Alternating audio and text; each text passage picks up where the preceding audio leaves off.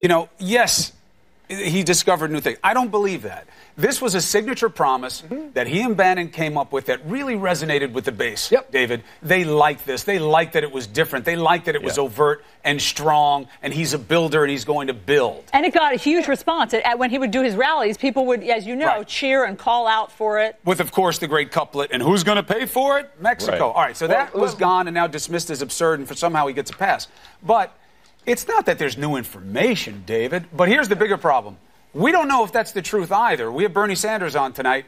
Do they know? Is that true? Is the president saying, okay, fine, we'll go with the different kinds of security that you already offered to fund? Or is it his tweet where he said, no, the wall really matters? Or him in the presser where he said, no, we have to build the wall, it really matters? Which is it? Right. Look, I push back on, on this a little bit in terms of this being a huge deal. The president, we know, often says things that are not true. And when he's talking about things that are true, he, he, he'll speak metaphorically.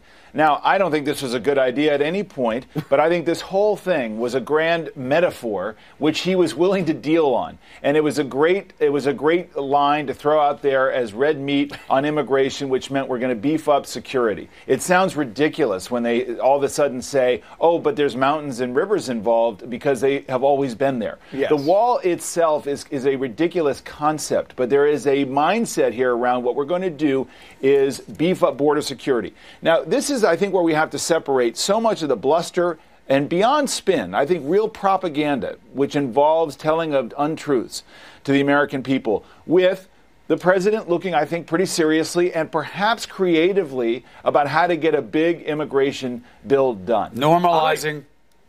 no, I'm, no, I'm, no, I'm normalizing. This was a signature promise. It was a bedrock principle for him right, so, I mean, that he right, was going to build Chris, an I, actual fine. wall. No, no, but I'm just saying that look, why should we get so caught up? Fine, then tag him on that. But I'm saying if the wall ends up being something different, that's ultimately a good thing.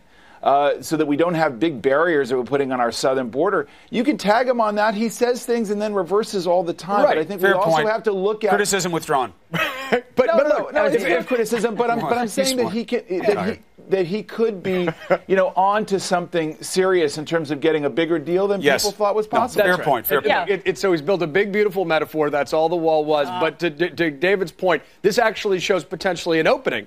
Uh, to get something done with Democrats. Because if the issue is border security, not a border wall, you got room to work okay. on something comprehensive. All right, so then tell me, both of you and you, uh, is this one also bluster, or is this worrisome, what he's saying about libel laws and how he wants to beef them up? Listen to this.